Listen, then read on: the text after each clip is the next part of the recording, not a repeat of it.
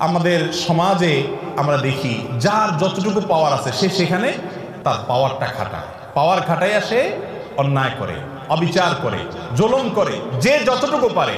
যাকে আল্লাহ যদ্দুর পাওয়ার দিছে, সে তদ্দুর জুলুম করে। কেউ বড় জালেম, কারণ সে বড় পাওয়ার হোল্ড করতেছে। কেউ ছোট জালেম, কে সে, কারণ সে ছোট পাওয়ার হোল্ড করতেছে। দুনিয়াতে যদি কেউ কারোর প্রতি জুলুম করে, এর বিচার আল্লাহ তালা আখেরাতে তো করবেনই। আর জুলম জুলুমাতুন ইয়াউমাল কিয়ামা, কিয়ামতের দিন দুনিয়ার এক একটা জুলুম বহুমুখী অন্ধকার হয়ে মানুষের কাছে হাজির হবে। কোনো আলো সে দেখতে পাবে না, বিপদ তার সামনে আসবে। আর আল্লাহ লানতুল্লাহ আলা জালিমিন তো আছেই। এত কিছুর পরেও মানুষের প্রতি যদি আপনি অবিচার করেন, জুলুম করেন, দুনিয়াতে আল্লাহ নগদ শাস্তি দেন।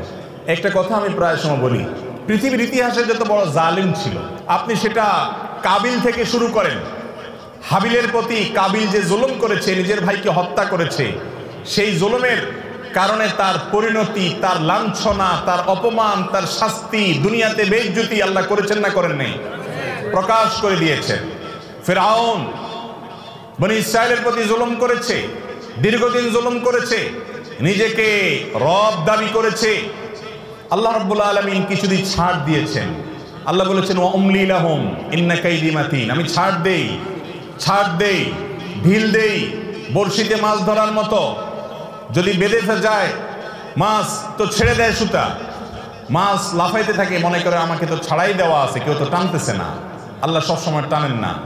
ইন্না কাইদি মাতি যখন টান দেন, সেটা অনেক শক্ত টান হয়, ছুটার কোনো সুযোগ থাকে না।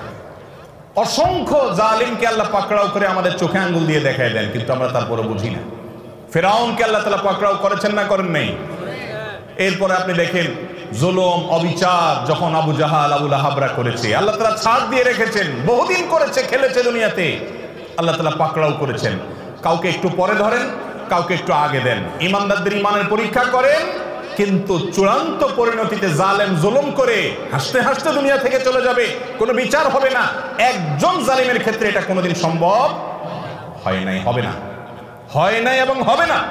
নবী সাল্লাল্লাহু সাল্লামের ওয়াদা জুলুম, অবিচার, অত্যাচার, লুণ্ঠন এবং দুঃশাসন, অপশাসন, মানুষের প্রতি মানুষকে কষ্ট দেওয়া, এই কাজগুলো যারা করে, আল্লাহ তালা তাদেরকে দুনিয়াতে শাস্তি দেন, আখেরাতে তো আছেই।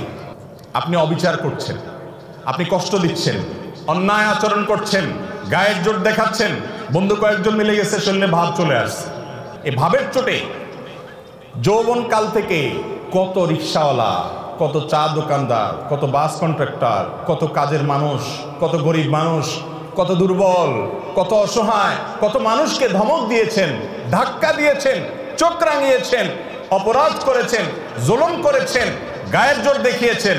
সবগুলো হিস্ট্রি যদি একত্র করা হয় তো দেখবেন আমল নামার ভিতরে হাজার হাজার জোলম ভরে আছে। ঠিক না বেঠিক? জটিল একটা বিষয় জটিল একটা বিষয়। ভাইরে ইমানদারকে আল্লাহ রব্বুল আলমিন বান্দার হকের ব্যাপারে অনেক সাবধান হতে বলছেন। অনেক সাবধান অনেক সাবধান। আপনি আল্লাহর দশটা হুকুমের নাফরমানি করেছেন। মাপ চেয়ে ক্ষমা পাবেন আশা করা যায়। একজন অসহায় মানুষের প্রতি জুলুম করেছেন, ধাক্কা দিয়েছেন। এটা মাপ পাবেন কিনা? কেয়ামতের ময়দানে এই আশা খুবই ক্ষীণ। কারণ এটা আল্লাহর আদালতে আল্লাহ নিজে বিচার করবেন না। এটা চলে যাবে বান্দার কাছে। বান্দার কাছে আল্লাহ পাঠিয়ে দিবেন, সে কি বলে দেখো।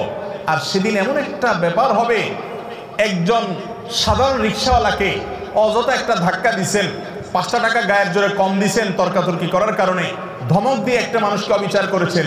সেদিন কিন্তু ওই রিক্সাওয়ালাকে যদি বলেন, মামু, বুঝি নাই তখন অহংকারের চোটে করে ফেলছি, আজকে মাফ করে দাও। পাও ধরলেও কিন্তু মামু সেদিন মাফ করবে কারণ সেদিন সবাই ইয়া নফসি ইয়া নফসি। শুধু আমল দরকার। একটা সওয়াব পেলে একটা কদম আগায় গেল, জাহান্নাম থেকে সরে গেল। ওয়া আবি। সেদিন বাপ থেকে, ভাই থেকে, স্ত্রী থেকে একে অন্য থেকে পলায়ন করবে। সবাই এনফসি এনফসি করবে, কেউ কাউকে ছাড়বে না। এই জন্য জুলুমের সমস্ত মামলা দুনিয়াতে সেটাকে ভ্যানিশ করে, ফিনিশ করে, নিষ্পত্তি করে তারপরে যেতে হবে ইনশা আল্লাহ। কারোর প্রতি জুলুম করব না তো ইনশাআল্লাহ। যদি কখনো হয়ে যায়, মাপ চাওয়া শিখতে হবে। ইমানদারের একটা বড় গুণ হলো মাপ চাওয়া। বারবার মাপ চাইতে হবে। রিপিটেডলি মাপ চাইতে হবে। রাস্তায় একজন লোকের সাথে বেয়াদবি করে ফেলেছেন, দোকানদার সাথে বেয়াদবি করেছেন। পরে আপনার ইমানের চেতনা জাগ্রত হয়েছে, কাজটা তো ভালো করি নাই। আমি তো মানুষটার প্রতি অবিচার করেছি। একা একা যান, যা মাপ চাই আসেন। বন্ধুদের সামনে যদি তার সাথে বেয়াদবি করেন, বন্ধুদের সামনে মাপ চাইবেন এবং নিজেকে ছোট করবেন, নিচের দিকে তাকিয়ে থাকবেন। একজন সাহাবি, আরেক সাহাবিকে একটা কথা বলে ফেলেছেন। রসুল আকরম সাল্লাহ সাল্লাম শুনে কষ্ট পেয়েছেন এবং শাসন করেছেন যে তুমি এই কথা কেন বললে? তার কষ্ট হয় এরকম কথা। বুঝে উঠতে পারেন নাই তিনি, বলে ফেলেছেন। সাথে সাথে তার ভাইয়ের কাছে তিনি মাপ চেয়েছেন। এমন মাপ চাওয়া যে মাপ না দিয়ে উপায় নেই। এ হলো মুসলমান। তাহলে কারোর প্রতি জুলুম করব না তো ইনশাল্লাহ এগুলোর জন্য তবা করব তো ইনশাল্লাহ মনে রাখব, একটি আচরণ খারাপ হবে, আল্লাহর কাছে পাকড়াও হবে।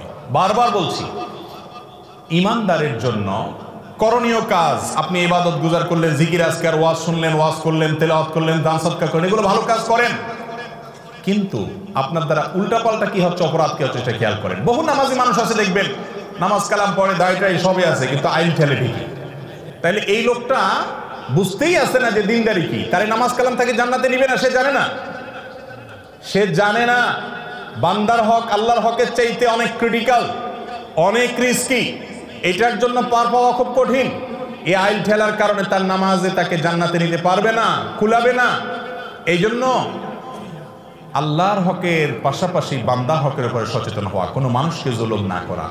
আবারও বলছি পৃথিবীর ইতিহাসের কোনো জালেম তার বিচার পাওয়া ছাড়া দুনিয়া থেকে যায় না। আমরা অনেক সময় বুঝি না। এক একজনকে আল্লাহ এক একভাবে বিচার করেন, কারোর ভেতরে ত্রাসের সৃষ্টি করে দেন, ভেতরে ভেতরে জ্বলে পড়ে কয়লা হয়ে যায়, উপর দিয়ে বোঝার কোনো সুযোগ থাকে না। কিন্তু আল্লাহর আজাবের কথা নবীজি ওয়াদা করেছেন। এই ওয়াদা সত্য মহাসত্য ব্যতিক্রম হওয়ার কোনো সুযোগ নেই। জালেমের বিচার আল্লাহ করেন, করে থাকেন, কেয়ামত পর্যন্ত করবেন। এই জন্য জুলুম থেকে নিজেদেরকে বাঁচিয়ে রাখব ঈশা কারোর হক নষ্ট করব